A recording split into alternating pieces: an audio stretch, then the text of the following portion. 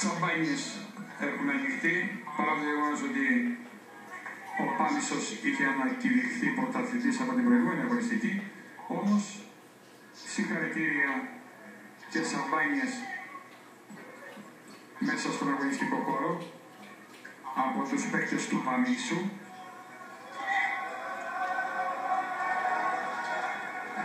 που δίκαια ανακηρύχθηκαν πρωταθλητές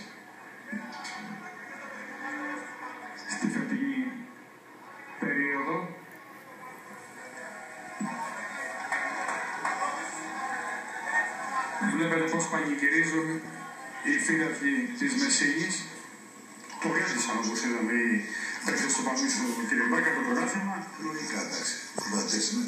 Να δούμε τι είπαν, ε, τι δήλωσαν για την επιτυχία αυτή. Μετά το παιχνίδι ο Ηλίας ο Μουρούσιας έβαλε δύο γκολ και ο πρόεδρος ε, του Παμίσου, ο κύριος Ρούτσης. Ας δούμε το βίντεο. Σίγουρα θέλω να δώσω συγχαρητήρια. Ήταν πολύ δίκαιη η αποδο- η κατάκτηση του πρωταθλήματος από εμάς. Είχαμε πολλές δυσκολίες όμως κατά τη διάρκεια της χρονιάς.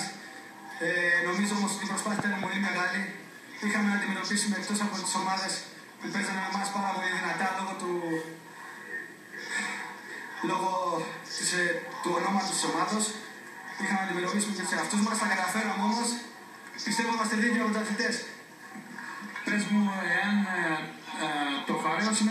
αντίπαλος είναι, ήταν πράγματι μια ομάδα η οποία άξιζε την τρίτη θέση.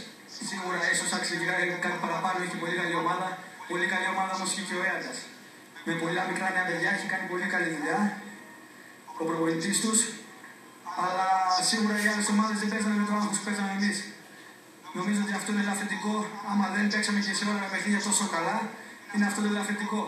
Αλλά σίγουρα ήταν πολύ καλή ομάδα και το Φαρέ και η Παρισία αλλά και ο Έατας.